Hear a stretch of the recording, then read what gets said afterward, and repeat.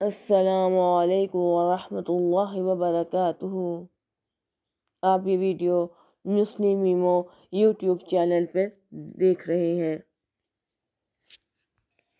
हम मुसलमानों की सबसे अहम इबादत नमाज़, जिसे अरकान इस्लाम में बहुत बुलंद मुकाम हासिल है।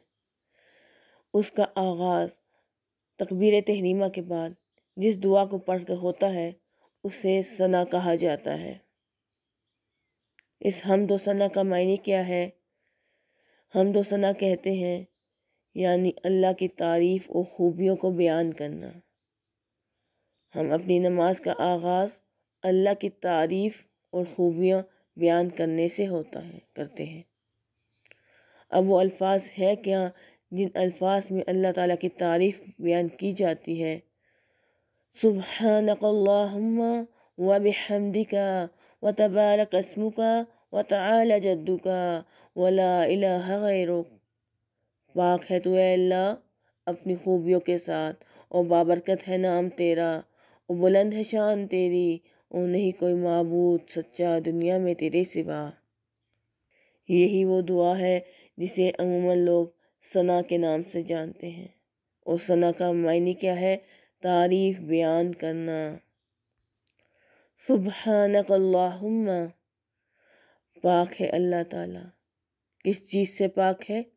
हर शिरक से पाक है, जो लोग उसके साथ शरीक ठहराते हैं। चाहे वो किसी बुत की शक्ल में हो, चाहे वो किसी इंसान की शक्ल में हो, अल्लाह सुबहान ताला हर शिरक से पाक है। हुआ भी हमदी का और साथ तेरी हमद के।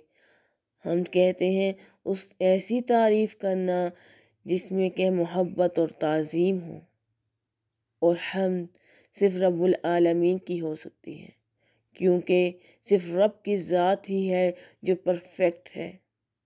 और रब्बुल आलमीन का जो मकाम व मरतबा है, वो हम के ही लायक है। व तबारक कसमू का बाबरकत है नाम तेरा। अल्लाह की ज़ात, अल्लाह का नाम है ही बड़ा बाबरकत। किसी चीज़ में इजाफ़ा करना या ज़्यादती करना बरकत कहलाता है। हम जिस काम के आगाज़ में अल्लाह का नाम ले लेते हैं, वो काम होता ही बाबरकत है। वह तला जद्दू का बुलंद है शान तेरी। अल्लाह की जो शान है, वो बुलंदियों वाली है।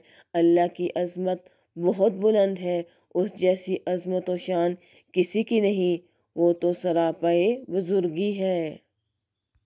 वला इलाहा गैरुक तेरे सिवा कोई मबूत नहीं। इलाह इलाह कौन होता है जो हैरान कर दे? ऐसा मबूत जिसे ना देख सकते हैं, मगर उसकी तख्लीक को देख इंसान हैरान है।